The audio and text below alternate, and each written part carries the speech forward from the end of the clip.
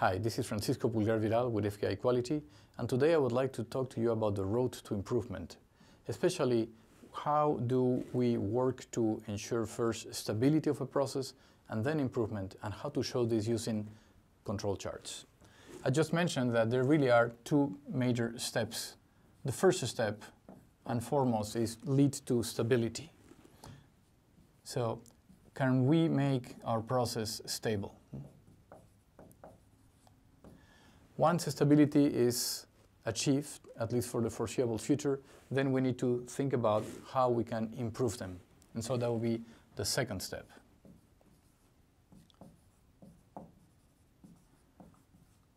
This is a,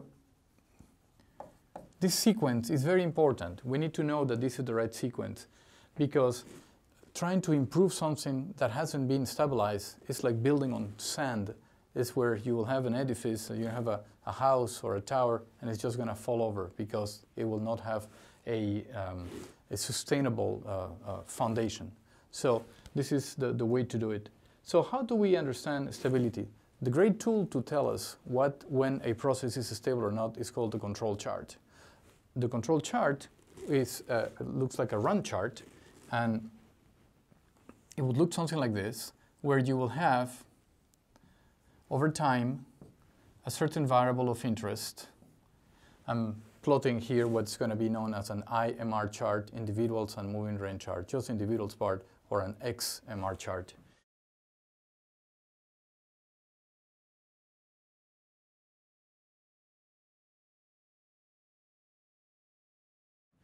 And so let's say that over here you have, for the particular value that we're looking at, this could be the average value.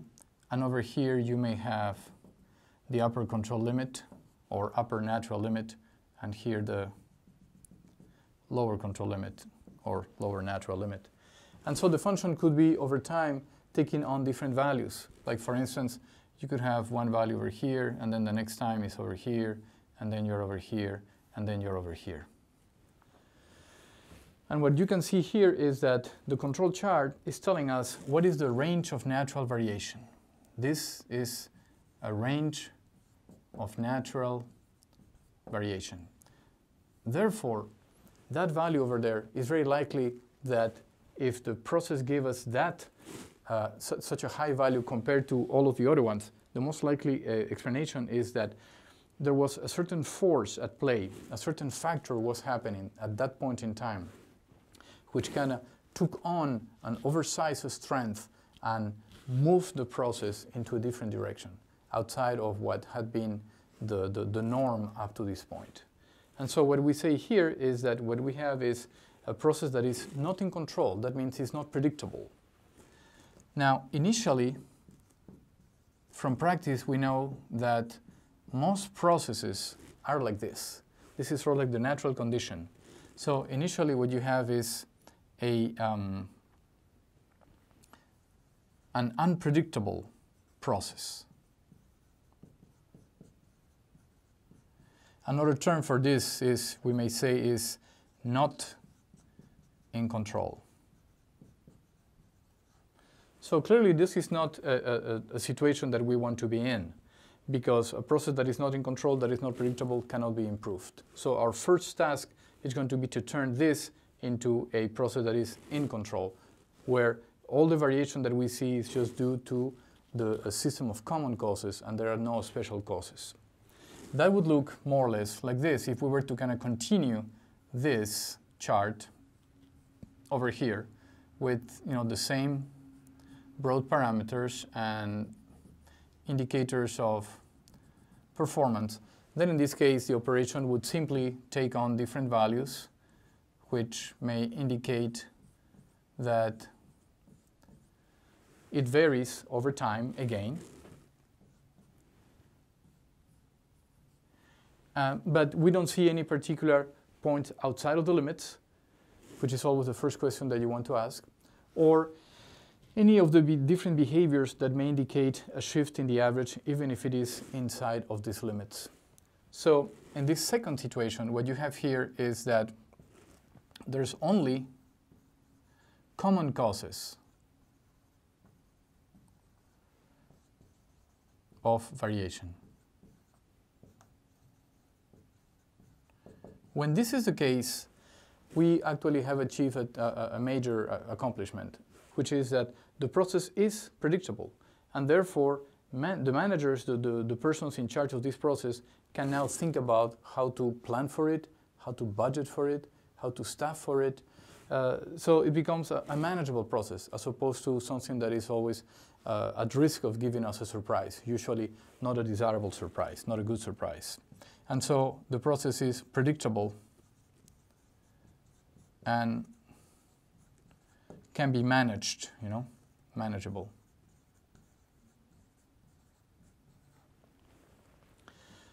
Now, having said this, having said that we have here an upper control limit and a lower control limit, however, doesn't tell us that this process is satisfying or that it is capable, that it does what it was supposed to do.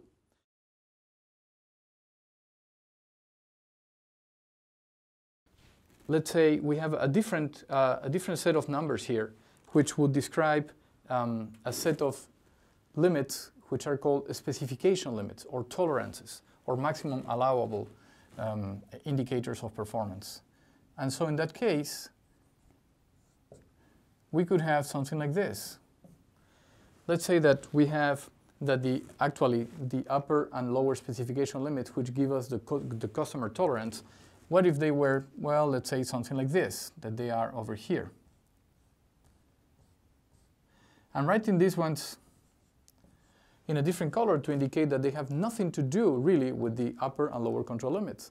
That is, they represent the voice of the customer. They represent what must happen.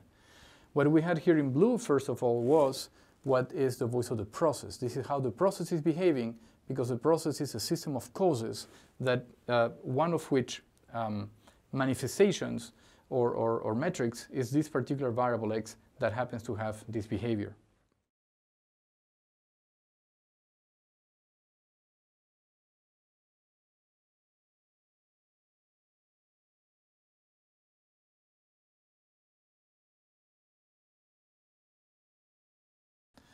then what we would need to do is now work in such a way that would allow us to fit these control limits to be inside of the spec limits so that then we will be successful and, and, and, and capable on a sustainable basis.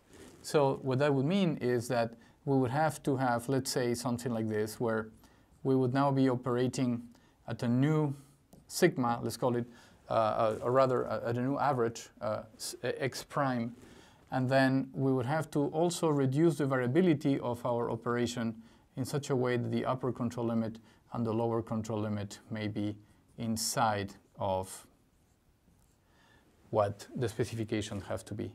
And so in this case, if we maintain the predictability of the process and we work to lower the average, put the average where it needs to be, and also reduce the variation so that it meets the requirements of our customers, then we will have a process that is going to be both in control and also is going to be a capable process. This is how the road to improvement looks like. This is how you move from what unfortunately tends to be the most common situation to one that is uh, in control, that is uh, stable, and in addition to this, now we will have a process that is not only stable, but it is also capable. And it's going to be capable in a sustained way. That is free of surprises or another way of saying this would be uh, predictable.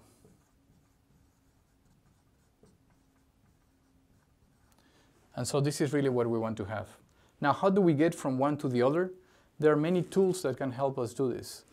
When we need to identify what is a, a special cause of variation, which is what you would have here, I will add that to here now. So this means that The fact that the process is unpredictable, is not in control, is because there are special causes are present. So in order to move from, from here to here, a typical tool that we could use would be really a, a, discovery of what's happening or what was happening in this particular time. So go to the Gemba, study the process, speak with the subject matter experts, figure out what was happening, and then try something, try some, to make some incremental changes that may help us. This uh, could be called a, a Kaizen project, could be called the application of the Plan, Do, Study, Act cycle of learning that we learned from Deming and Shewhart. And this, will, this should be useful uh, in order to eradicate that special cause. Now, when only the common causes of variation are, in, are present, then what needs to change is not just maybe one particular thing, but the whole system. And one of the great tools to help us understand the system of causes underlying this would be, in, and, and therefore the tool that may help us move from this situation to the next one and improve performance would be uh, a tool such as you know, the fishbone, along with any other experimentation tools that we may have in order to try different things and change the actual makeup of the system. So in summary, the road to improvement moves from lack of predictability to a predictable process and then onto a capable process. And the way in which teams um, uh, walk this road of improvement is by using tools in order to address each one of the special causes with tools such as PDSA or Kaizen, and then to actually improve the system of production and the system of causes with tools such as the fishbone diagram. Thank you for your time.